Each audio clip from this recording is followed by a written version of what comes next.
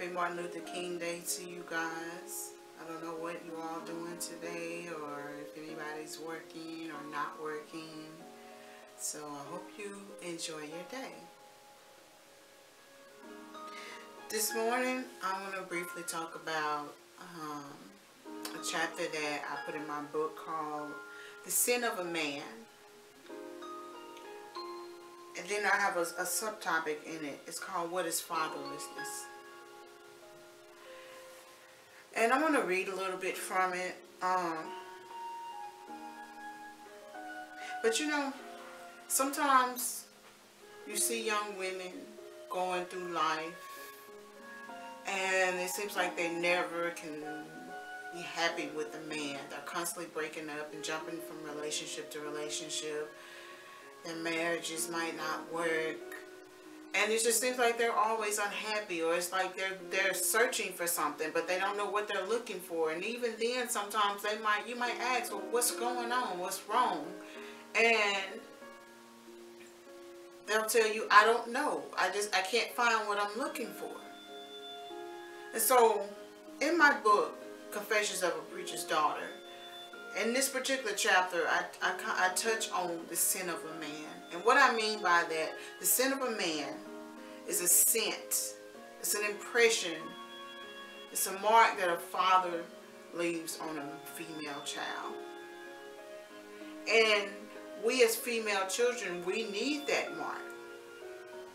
You know, I asked a question last year, does lack of a father figure affect a young girl growing up? And some people said no, and the most majority said yes.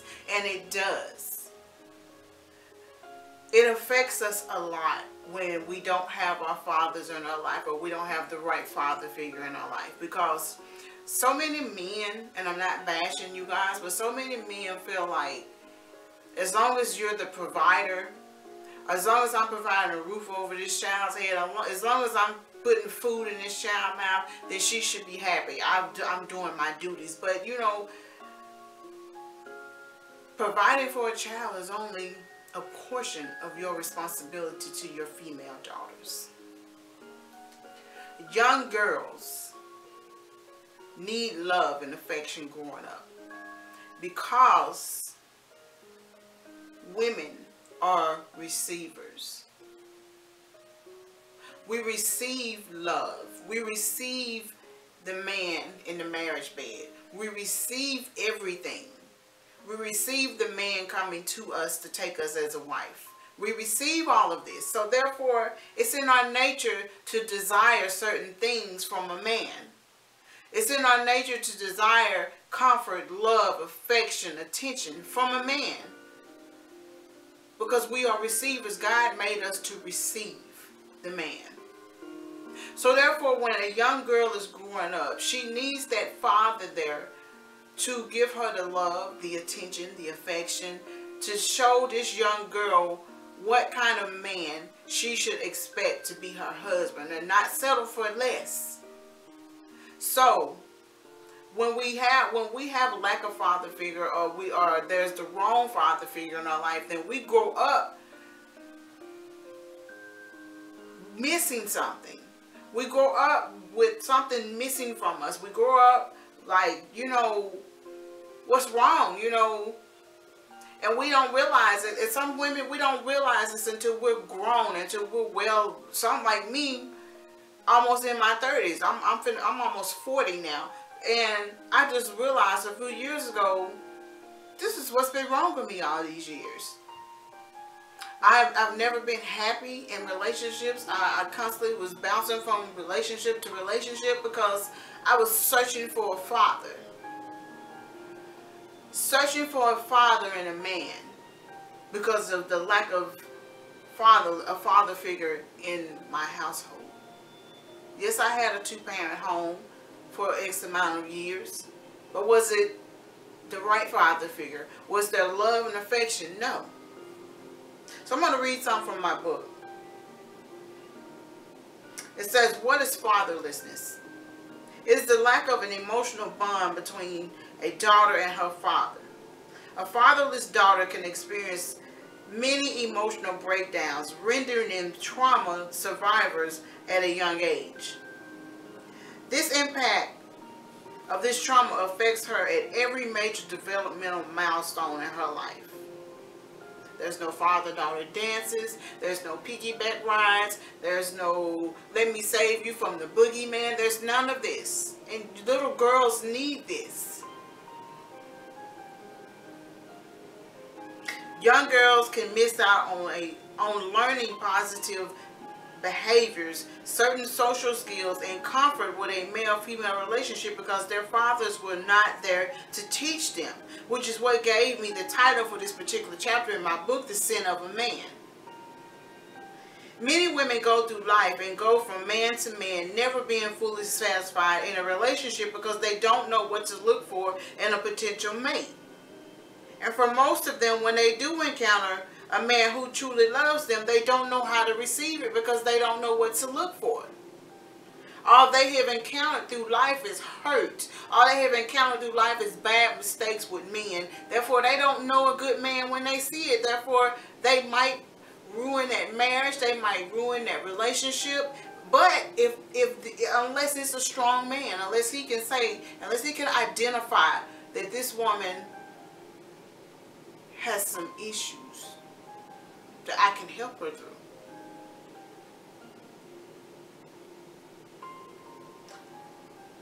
Some women even unknowingly date and, and are attracted to men who are aggressive because they are still searching for the father figure in a man.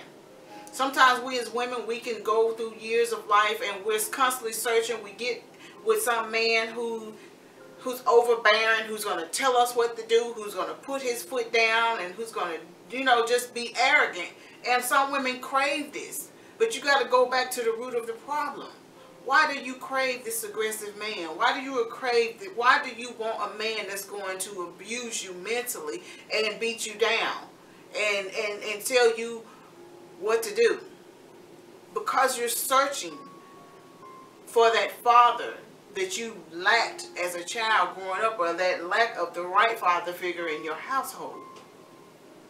You can disagree with me all you want, but I, I am very big on going back to the root of problems. So many times we go through life, we have these issues, we can't figure out why we can't keep a man, why we can't keep a woman, why we keep jumping from relationship to relationship, why we keep getting in and out of these multiple marriages, because we got to deal with ourselves.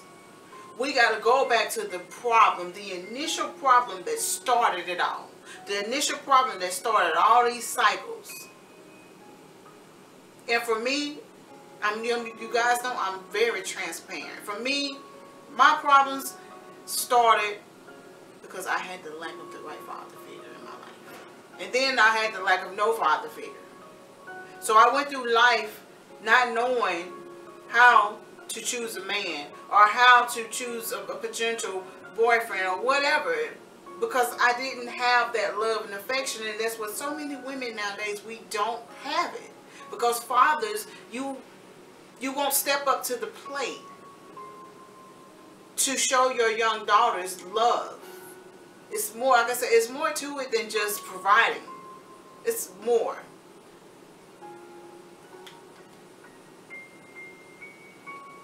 And some women find it hard to distinguish between love and lust from a man who's interested in her. We think this man loves us. We think he's so into us. We think it. We just think it. He's good in bed. And that's all we got in our mind is, oh, he's good in bed. Because we don't know what else to look for. We don't know how to look at a man that's really going to truly love us, love our mind, love our flaws, deal with us as we deal with ourselves. A man that can take you in your broken state, your broken, nasty, ugly self and love you through your process of learning yourself. That is a man who loves you. But you take a man that all he wants is have a good time. He don't care about your kids. He don't care about you. He don't care about nothing but, but chilling. That's lust. He cares nothing about you. But we go through life and this is what we are attracted to. We are attracted to the good looking, good thing in bed. That's what we want. But then we ignore the guy over here who might be a little pudgy in the middle or he might not be so pleasing to the eye. But this is the man that's going to love you. This is the man God has for you. But you choose lust over love.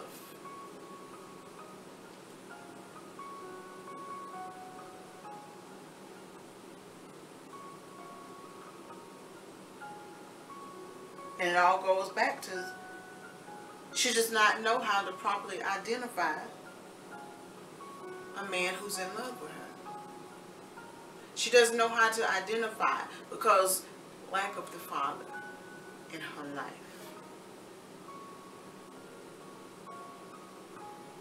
Little girls need that special love and attention growing up that only a father can give. Only a father can give us young girls the, that, that particular love. I'm sorry, I'm getting tongue-tied. But only a father can give young girls this type of love. Little girls need to be told how pretty they are growing up to help build their self-esteem. To help build their image about themselves while they're young. They need a father in their life to take them out on dates, to show them what to expect out of a good man. One who will teach them how to know when they're dealing with an abusive or a lazy man.